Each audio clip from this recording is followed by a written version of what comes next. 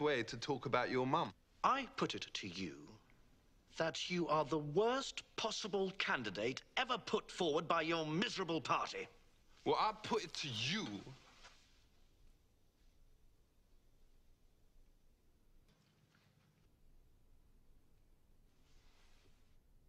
that you sucked off a horse. I did not uh, suck off a horse.